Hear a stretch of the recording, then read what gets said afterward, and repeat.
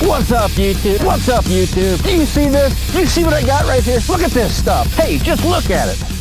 That's what people on the internet want to click on. They want to see you freaking out about it. Hi, I'm Jason. Welcome to this week's Technique of the Week. Thanks so much for, for being here. We appreciate you guys watching these.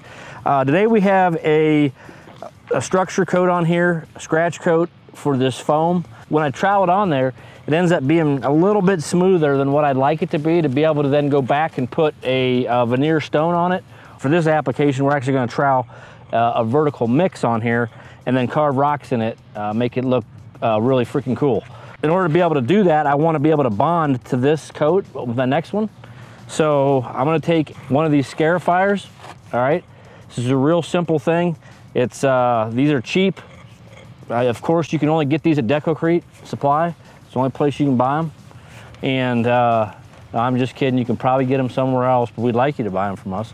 Uh, so anyway, what I'm gonna do with this is it makes these nice little grooves in there. So I'm just gonna take it and just run it along here.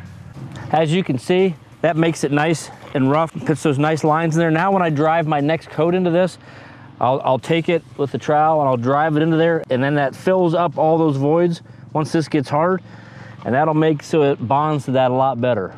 Thanks for joining us this week on Technique of the Week. We really appreciate you guys watching these every week.